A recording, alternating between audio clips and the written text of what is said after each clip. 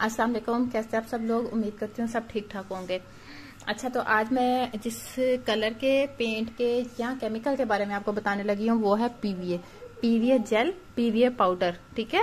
PVA powder कहाँ से लेती हूँ और पीवीए जेल किस तरीके से बनाती हूँ? इसकी वीडियो डिटेल्ड मैंने एक वीडियो बना दी, मैं किस तरीके से इस पाउडर के साथ ये वाली जेल बनाती हूँ, ठीक है? लिंक मैं इसके डिस्क्रिप्शन में दे दूँगी। जस्ट अभी मैं आपको दोबारा से दिखा दूँ, जो नए सब्सक्राइबर आए हैं, वो देख लें, ठीक है? जिनको नहीं पता, ये देखिए, ये इस तरीके से होता है। बिल्कुल नमक की तरह सॉल्ट जो हम कुकिंग सॉल्ट यूज़ करते हैं ना, इस तरीके से आपको ये मिलेगा पीवीए पाउडर ठीक है?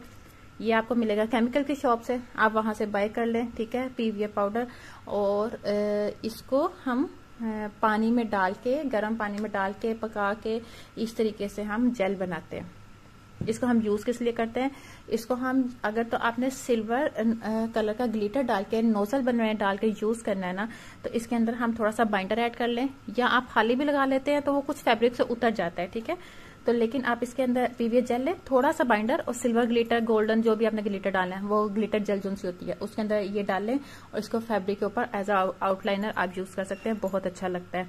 दूसरा, इस जेल के अंदर मैं गोल्डन कलर बना के यूज़ करती हूँ आउटलाइन में डाल के भी यूज़ कर लेती हूँ और ब्रश के साथ भी यूज़ कर लेती हूँ। अगर तो आपको ब्रश के साथ यूज़ करना है तो फिर आप ये थोड़ा सा थिन बनाएँगे। और अगर आपको आउटलाइनर में डाल के यूज़ करना है, ठीक है?